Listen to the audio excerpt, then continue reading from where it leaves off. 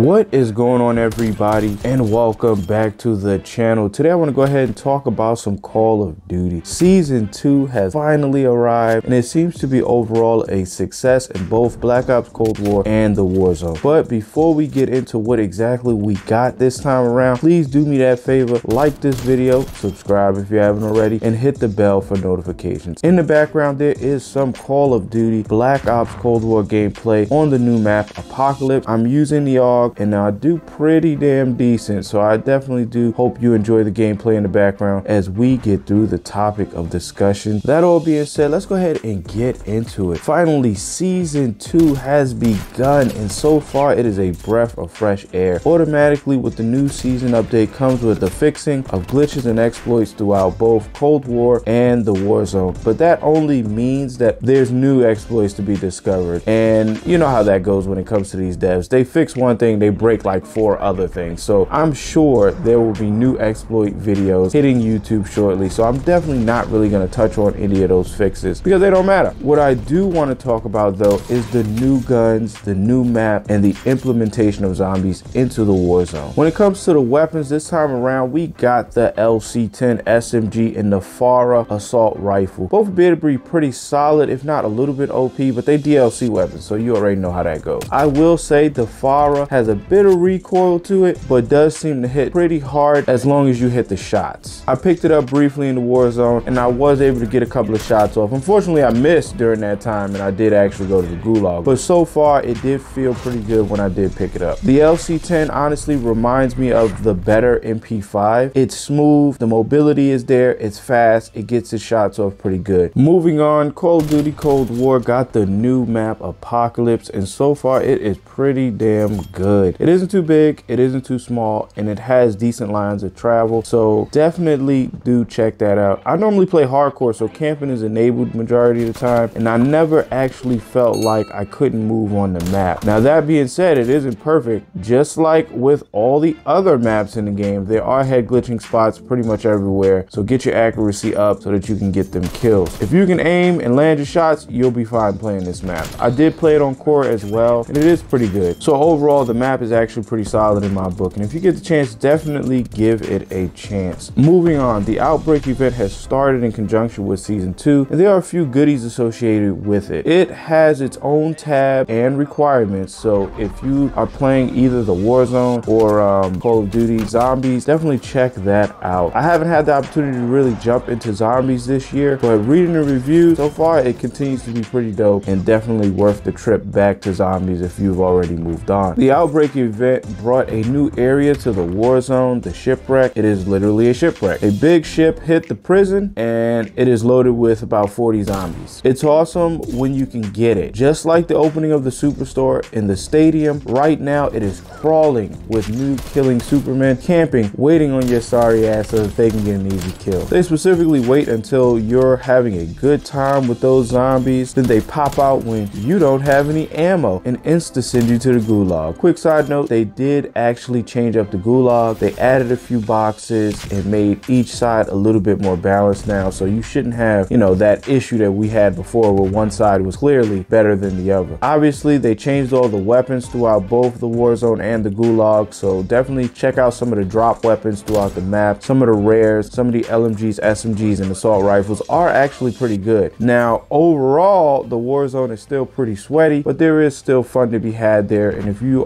are a Warzone player like myself, definitely do jump back out there and give it a try. Those are really the major aspects that were added. There'll be a link in the description box that leads to the full details. I didn't go through every bit of it because I'm honestly currently playing the game and enjoying the double XP and the double weapon XP. I am currently going for the dark matter camos and everything on Call of Duty Black Ops Cold War. So it is definitely a must to play during these times when they give you those double XP opportunities. Nevertheless, that is about it for me. What do you all think? Do you like the new season? Will you play the new season? Are you still playing the game? What changes would you make? Let me hear it down below in the comment section. I truly appreciate you guys taking the time to watch my video. It's a short one, but like I said, I'm actually playing the game right now. So that's gonna be what it is. Please don't forget to leave a like, subscribe, and hit the bell for notifications. I truly do appreciate it, and I'll see you on the next one.